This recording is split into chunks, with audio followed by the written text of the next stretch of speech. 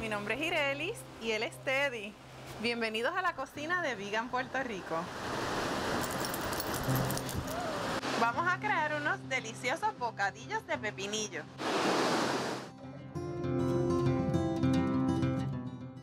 Los ingredientes son cúrcuma o turmeric, hummus, semillas de sésamo,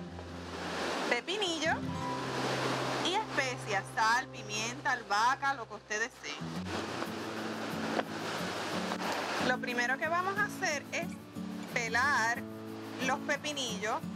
Puede quitarle la cáscara completa. Yo voy a hacer un patrón para que se vea bonito.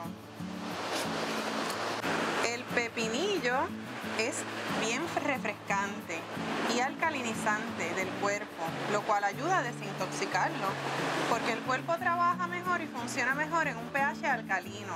Muchas veces cuando consumimos carne, refrescos, harina, el pH baja y se pone ácido y el cuerpo tiene que remediarlo, tal vez sacando eh, calcio de los huesos para poder alcalinizarse. Por eso es que se crea osteoporosis, artritis y todas esas condiciones.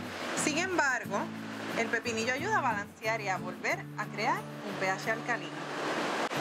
Vamos a hacer para hacer estos bocadillos de pepinillo es que vamos a cortar el pepinillo en rodajas. ¿Quieres un cantito?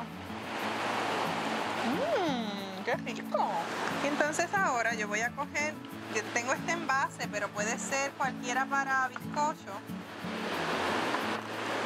Y como si fuese un frosting, voy a colocar el hummus aquí adentro.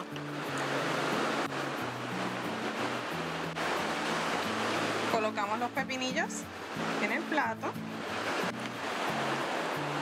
y le vamos colocando el hummus. Esto puede ser también, además de una merienda, puede ser un entremés.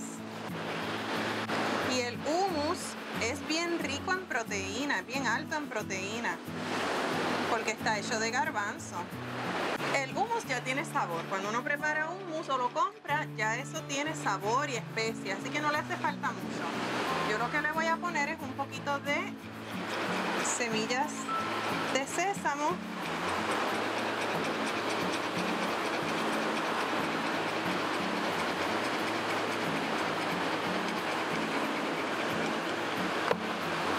un poquito de paprika ahumada que me encanta y le da un color y antioxidantes también por el color rojo puede echarle cúrcuma que este es un poderoso antioxidante y anticarcinógeno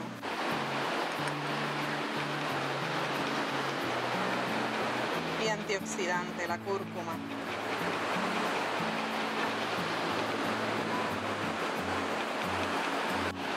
Y para terminar, yo le voy a echar un poquito de aceite de sésamo tostado.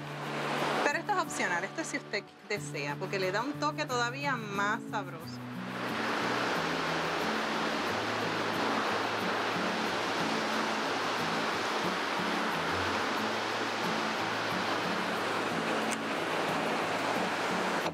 Y listo, facilito, aquí están los bocadillos de pepinillo.